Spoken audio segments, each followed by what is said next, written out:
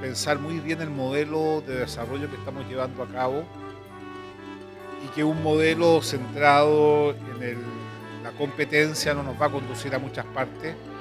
Tenemos que pensar más en la, en la fraternidad y en el compartir y cómo nos educamos todos a descubrir nuestros propios carismas, nuestras propias habilidades y destrezas para ponerla al servicio de los demás y decía que estamos viviendo un proceso de globalización de la indiferencia que no nos va a conducir a buen puerto y que va a terminar en la soledad.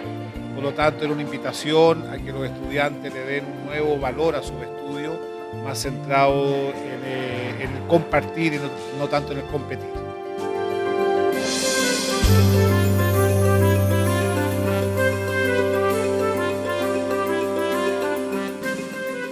Planteaba que las preguntas filosóficas como quiénes somos, hacia dónde vamos, qué sentido tiene la existencia humana, son preguntas que están muy olvidadas y estamos más preocupados de qué vamos a vivir y no tanto para qué vamos a vivir. Por lo tanto, la pregunta por el sentido adquiere una especial relevancia hoy día.